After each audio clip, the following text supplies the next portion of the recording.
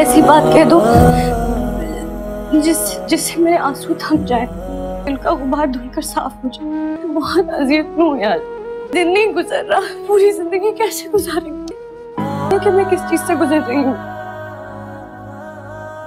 मोहब्बत में चोट खाई है मैंने। खो दिया मैंने। कैसे समझ सकते हो तुम? क्या कसूर था मेरा?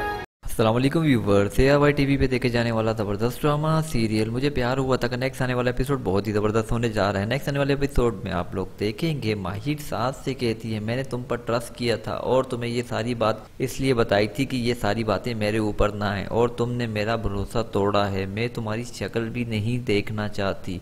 तुमसे मैंने हरगिज़ ये उम्मीद नहीं की थी कि तुम मेरे बाप को मेरे सामने लाकर खड़ा कर दोगे। तुम्हारी वजह से मेरे बाप ने मुझे कितना भरा बुरा कहा। जवाब में साद माहिर से कहता है, इसमें मेरा कोई कसूर नहीं है। मेरे माँ बाप ने मुझे इतना प्रेशराइज किया जिसकी वजह से मुझे उनको हकीकत बतानी पड़ी है। लेकिन इसमें कुछ गलत तो नहीं है। अगर मैं तुम्हें चाहता हूँ, तुम मुझे नहीं चाहती हो तो कम अज़ कम इतनी तो हिम्मत रखनी चाहिए कि तुम अपनी बात अपने वालदेन के सामने कह सको। क्या अच्छा लगा, क्या बुरा लगा? कमेंट सेक्शन में अपनी कीमती राय से ज़रूर आगा करें।